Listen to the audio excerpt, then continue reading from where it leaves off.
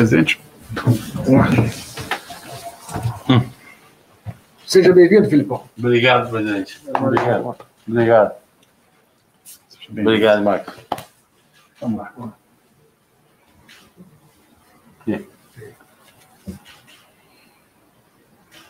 Aqui. Pronto. Pode segurar também ali, Marcos.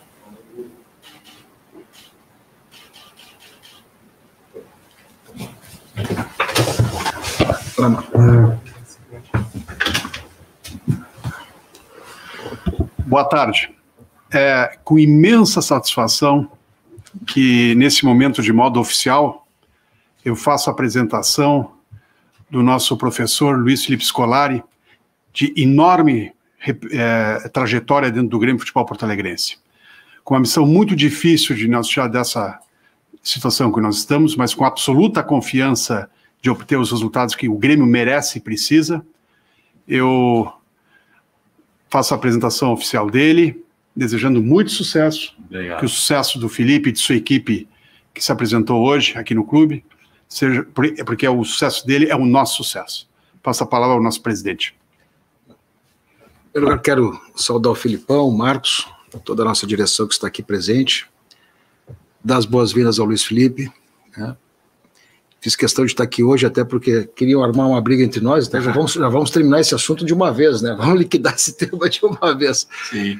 Filipão, nós tivemos uma, uma relação profissional e depois disso mantivemos uma relação privada, seja em encontros ocasionais, mas em uma certa oportunidade é, telefonei a ele perguntando por alguns jogadores para a gente saber exatamente como ele entendia aquele jogador.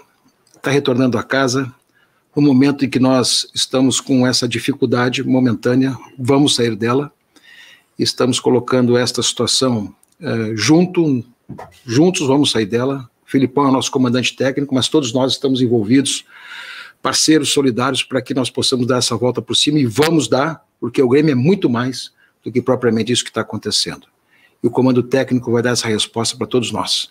Seja bem-vindo, Filipão, cumprimentos, boa sorte e vamos em frente. Obrigado, presidente. Obrigado, Marcos, pelo convite. Obrigado a ti. Tá? Obrigado.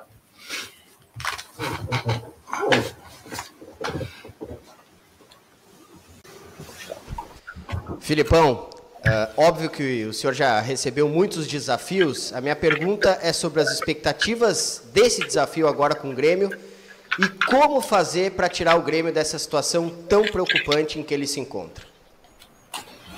Bem, boa tarde a todos. É, eu não posso dizer a vocês detalhadamente ou definir como vamos fazer para tirar o Grêmio dessa dificuldade momentânea. Mas, em primeiro, o que eu posso definir neste momento é de que é, nós temos que trabalhar. Os atletas têm que é, cada dia estar mais empenhados no trabalho para que a gente consiga superar algumas dificuldades que estão surgindo. E nós vamos fazer tudo aquilo que imaginamos em termos de números, estratégias e discutir com os atletas e colocar em prática nos treinamentos para atingirmos esse primeiro objetivo da situação em que nós estamos momentaneamente no Campeonato Brasileiro. Não vamos nos esquecer que nós temos mais duas competições e as duas competições, nós também temos que dar ênfase e, e dar uma olhada de uma maneira diferente. Portanto, são etapas que nós vamos trabalhar e que não é de um dia para o outro, não é num jogo apenas, não é numa vitória simples que vai mudar tudo. Não é isso, não. Nós temos que mudar gradativamente em relação, principalmente ao Campeonato Brasileiro, com um pouco de vagar, calma. Uh, mas é para amanhã, tudo bem. Mas vamos ter que pensar detalhadamente em alguns aspectos e é isso que já estamos fazendo com o nosso grupo. Felipão, você disse que vai ter que pensar em alguns aspectos para amanhã. Que mudanças são essas que você pode fazer no Grêmio, visto que a gente está bem longe do cenário ideal? Você é apresentado um dia antes de um clássico decisivo, o time na lanterna, precisando mostrar resultado num curto prazo. Que mudanças você pode fazer no time, seja ela de peças ou de esquema tático para o clássico Grenal de amanhã? Bom, de peças eu não tenho como dizer a vocês. Eu não, não vou uh, colocar, até porque tem uma ou outra situação que de lesão que eu preciso estudar se vou ter condições ou não para fazer um, um, determinado sistema ou mudar o sistema. É, mas o que nós temos que fazer e que já estamos fazendo e que acredito que já foi feito já na manhã de hoje é a mudança de pensamento, é a mudança da parte psicológica é o entendimento de que somos um grupo, é o entendimento de que somos, neste grupo, jovens, não mais jovens, um pouco mais experientes, uma série de detalhes, que é para todo mundo estar em condições de jogar uma partida de futebol e todo mundo corresponder dentro daquilo que nós sabemos que temos como jogadores. Então é isso que eu acho que neste momento, com um dia de treinamento, é possível fazer. Não é, não é possível fazer uma revolução é, num dia, mas a gente vai aos poucos montar a equipe que nós achamos ser a ideal para o Grêmio e ver se vamos e ver não e vamos conseguir tudo aquilo que o torcedor deseja e nós desejamos também e os jogadores querem. Portanto, assim vai acontecer. Felipão, o Dr. Marcos Herman no momento que fez o anúncio da sua contratação, revelou que vocês tiveram uma longa conversa e que o senhor tem uma avaliação bem positiva da qualidade do grupo que hoje o Grêmio possui. Ciente então dessa frase, dessa qualidade, na sua avaliação preliminar, o problema do Grêmio hoje é ambiente, é emocional e de que forma controlar tudo isso dentro de um calendário apertado e com mínimo espaço para trabalhar dentro de campo? Obrigado. Bem, em primeiro lugar, nós vamos ter que trabalhar não só dentro de campo, como fora de campo, como sempre aconteceu. É, nós temos alguns problemas, sim, desta parte psicológica, porque não conseguimos os resultados, mas não vamos nos esquecer que esse mesmo grupo, há três meses atrás, dois meses atrás, foi campeão gaúcho. É, foi campeão uma série de campeonatos é, com, as, com a comissão técnica anterior, é, com as comissões anteriores e tem qualidade. Então, algumas coisas vão ser resolvidas dentro de campo e algumas serão resolvidas fora de campo. Com o tempo, não, não, não, vamos, não vamos pensar, nossos torcedores gremistas, que hoje já está tudo solucionado. Não. Uma das soluções seria a contratação, como foi o caso que fizeram comigo e com a comissão técnica, mas os maiores resultados advirão de situações de trabalho que nós vamos ter daqui para frente, tanto mental quanto a parte técnica, é, quanto a sistemas, quanto a exigências que vamos fazer com os jogadores, uma série de detalhes. Então, isso tudo vai ser conjugado definitivamente para conseguirmos os resultados, que vão chegar de uma, de uma forma gradativa. Tudo bem, Felipe? E em relação a esse retorno, já com o clássico Grenal pela frente, a gente sabe que é muito comentado que o Grenal costuma arrumar a casa. E o Grêmio, nesse momento difícil, você chegando já diretamente para esse jogo, como você observa ter um Grenal já de cara, com um dia de treinamento? É bom ter um Grenal por conta do peso? Pode dar uma moral diferente para o prosseguimento e uma melhora? É, pode dar uma moral diferente, mas valem três pontos o, a vitória contra o Ceará, ou contra o Corinthians, ou é, são três pontos. Dizer, nós temos que saber que nós estamos jogando por três pontos. Então, claro, importante um Grenal. É, o Grenal, muita, nós no Rio Grande do Sul, nós damos uma ênfase especial a quem vence Grenal, mas não nos esqueçamos que os outros jogos também são importantes. Então, não, não, não, não é apenas o Grenal. O Grenal é o início, coube a mim essa situação, podia ser um outro jogo, que valeria os três pontos, que são muito importantes para nós.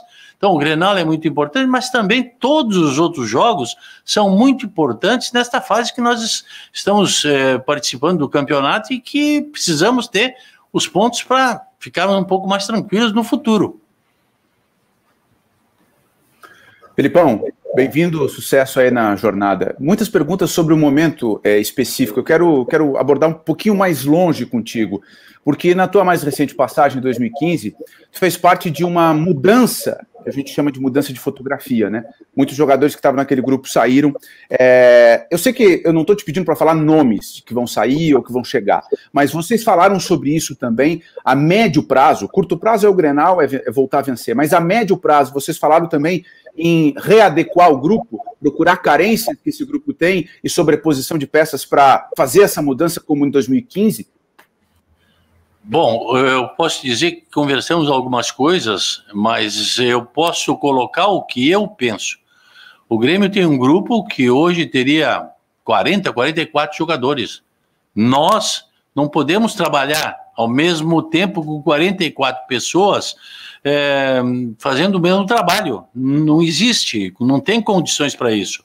Então, nós estamos readequando algumas coisas e no futuro provavelmente eu continuo com o mesmo pensamento que já foi passado à direção quando eu sempre trabalhei aqui no Grêmio, de que nós não travamos ninguém, não, não queremos ninguém satisfeito ou, ou ninguém que seja sondado e que tenha a possibilidade de sair, e nós vamos ter que buscar alguém, se precisar, é, na medida do possível. Então, é, nós somos abertos a diálogos em todos os sentidos. Então, uh, conversamos bastante já com a direção, sim, com toda a parte da direção, e sabemos como vamos, como vamos trabalhar daqui para frente. E vamos indo devagar com isso que nós, que nós estamos no momento eh, com alguma dificuldade, mas nós vamos é, adequando à situação do Grêmio. Não esqueçam que em 2015, 2014, nós subimos 15, 16, 17 meninos.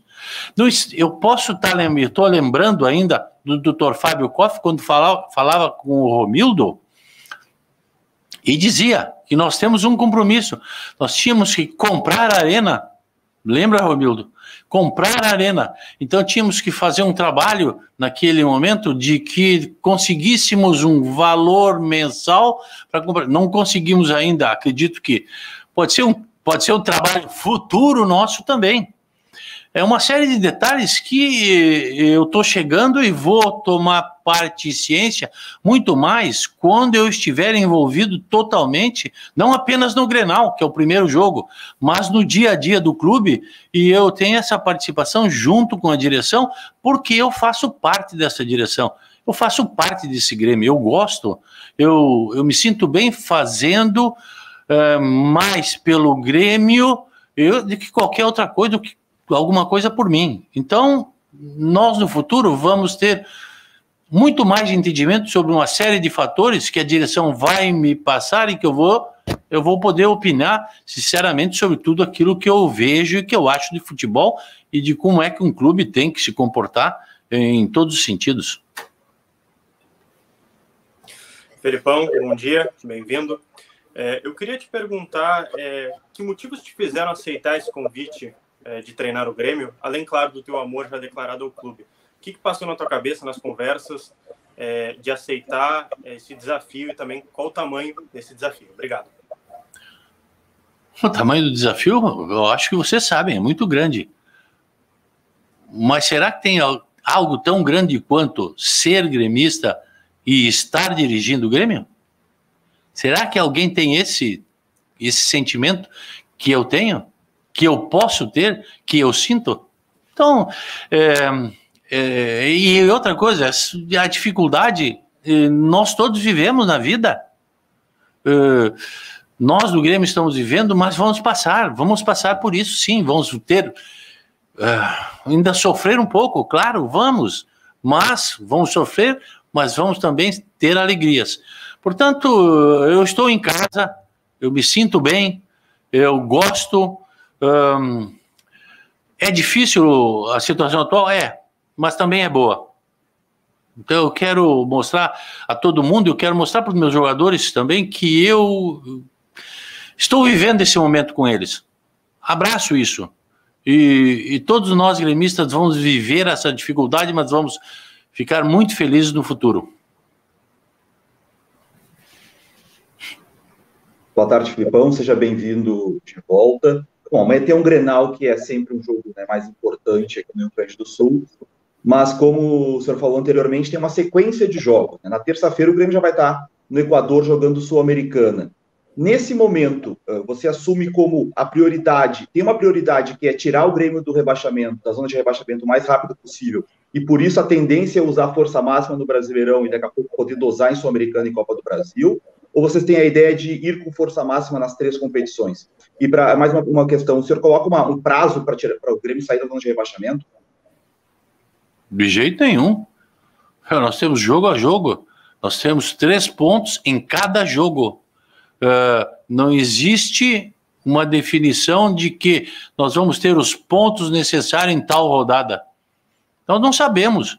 Ninguém sabe. Nós sabemos que queremos ganhar todos os jogos e queremos ter pontuação para podermos respirar sossegadamente, mas isso aí o tempo vai nos dizer, uh, os jogos vão nos mostrar quantos pontos nós conseguimos e uma série de detalhes. Agora, eu posso dizer que prioridade não existe nenhuma. Nossa prioridade é jogo a jogo, estarmos em condições de superarmos o adversário e conseguirmos a vitória. Claro que nós vamos estudar, nós vamos ver quais as possibilidades, através dos nossos departamentos, de colocar uma equipe diferente numa, duas, três posições, uh, de mudar alguns três ou quatro jogadores para um determinado jogo por causa de lesões, de uma série de detalhes. Mas nós vamos jogar sempre com o melhor que nós tivermos. Sempre com o melhor que nós tivermos, independente de, de competição. Professor Felipe, seja bem-vindo de volta. E mesmo declarou já né, o seu amor pelo Grêmio, disse que ser um gremista e estar dirigindo o Grêmio quase não tem coisa maior do que isso. Uh, nesse momento que a gente não tem público nos estádios, uh, como que tu vê a questão da torcida que tem em você uma representação muito grande dentro do vestiário para o time sair desse, nesse momento complicado que vive? Bem, eu quero também falar a vocês uma coisa. Eu tenho amor pelo Grêmio, mas eu sou pago pelo Grêmio. Eu sou um profissional, eu sou pago pelo Grêmio.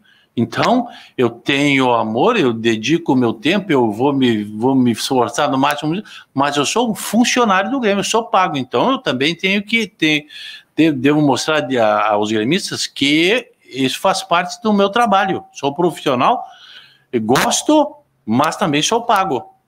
Então, é uma, é uma série de exigências que também a direção tem comigo.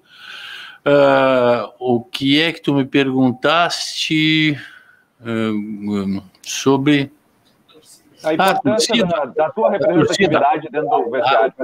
É, eu tenho, claro, representatividade por uma série de fatores. Mas, ah, vencedor. Tá bom, todos nós somos vencedores, mas nesse momento todos nós estamos em dificuldades, então vamos superá-las. É, não temos a torcida, que eu acho que faz falta, e muita falta. Quando tivermos torcida, um, a situação de, alguns clubes modificarão. E, e a nossa torcida faz a diferença. Agora, o torcedor do Grêmio pode acreditar que é, tanto eu quanto a direção estaremos presentes no vestiário para que o Grêmio tenha condições cada dia melhor em todos os sentidos. E nós vamos fazer isso. Uma ou outra coisa pode dar errado, vai ter uma ou outra dificuldade, mas nós vamos superá-las. Nós vamos fazer com que os jogadores entendam que o Grêmio é grande, o Grêmio é o nosso clube é aquilo que nos representa e que nós somos parte disso. Nós não, não, não, não somos os, os, as pessoas que vão brilhar pelo Grêmio, nós somos. O Grêmio vai brilhar mais do que nós. E é isso que nós queremos fazer com que o jogador entenda cada dia mais e que a cada dia mais haja a superação, para que a gente consiga tudo aquilo que imaginamos. E nós temos três competições. Temos focos em três competições diferentes. Nós temos que trabalhar com isso. Filipão, é, tão logo o, o Thiago Nunes foi, foi demitido, seu nome foi o primeiro a surgir, assim, como, como grande nome para assumir o Grêmio, o Grêmio entendendo que precisava de você por esse esse seu trabalho além do campo, né, de, de, ser um, um cara, um gestor de vestiário, que você conhece muito bem, a família escolar, enfim. Mas na terça-feira esfriou um pouco para o seu nome surgir anunciado na quarta-feira de forma definitiva. Como é que foi essa negociação? Porque é, nesse meio tempo vazou, Felipe, para nós na imprensa, seu nome teria é, tido uma certa rejeição por parte de dirigentes e até no grupo de jogadores. Como é que se contorna isso, Filipão? Chegou isso para você? Como é que você vê esse lado? Como é que você contorna isso para você fazer também do vestiário do Grêmio aquilo que você sabe fazer bem e consiga fazer que isso não transponha para os resultados dentro de campo? É, eu não tenho que contornar isso. Isso é, só, se alguém falou alguma coisa, pode ter falado pro pro mosquito, para alguém. Eu não sei de nada disso. Eu sei que hoje, quando eu aqui me apresentei, eu vi a alegria no, nos olhos dos, dos, dos, jogadores, de alguns que eu nem conheço, nunca conversei, e a felicidade de que eles estarão juntos conosco. Então, eu, eu, dos dirigentes, é, são algumas coisas que às vezes as pessoas imaginam e que não é, não tem nada, não tem nada disso aí. Então, é pura pura ilação, alguém que fala alguma coisa por porque tem algum interesse, mas o nosso interesse e a nossa forma de trabalhar, a nossa forma de ser, junto com os dirigentes, junto com os jogadores, é, é, é como sempre foi, tranquila, fácil. Então, eu não, não, não tenho por que nem pensar em lidar com isso, porque acredito 100% que não houve nada disso na, pela reação que eu tenho, que eu vi hoje dos dirigentes dos, dos jogadores, hum, olha, melhor do que do que eu imaginava. Se eu pudesse dizer a eles, jogadores e, e dirigentes, do meu sentimento de alegria na, no semblante deles, é o que eu estou dizendo na frente de vocês. Filipão, boa tarde. Em 2014, talvez uma das últimas grandes referências que a torcida do Grêmio tenha contigo no comando técnico seja o Grenal dos 4 a 1 E você retorna justamente na véspera de um Grenal. E naquele time tinha o Jeromel já, fazendo parte do, do elenco. E hoje ele é um grande ídolo da torcida, capitão América, assim como foi o Adilson lá em 95. Você tem a ideia do Jeromel ser um representante do Filipão dentro das quatro linhas, assim como o Adilson e outros jogadores já tiveram essa responsabilidade? Não só dentro das quatro linhas, mas fora também. É o que eu conversei no vestiário hoje. Quantos capitães tem o Grêmio e quantos capitães eu teria à minha disposição? E a primeira e a primeira situação que eu vi foi que alguns jogadores disseram, muitos, que ótimo, é isso que eu quero. Eu não quero um capitão. Eu quero muitos capitães. Eu quero comandantes. Eu quero dialogar. Eu quero saber é, como é que nós vamos fazer as coisas fluírem normalmente. Então, eu vou ter no Jeromel também, porque o Jeromel é, foi uma indicação é, naquele tempo ao Grêmio, que, que, que me foi solicitada pelo doutor Fábio, que vai estar presente todos os dias. Então, é mais um capitão que eu terei à minha disposição, mais uma pessoa da minha confiança. Boa tarde, Filipão. Seja muito bem-vindo.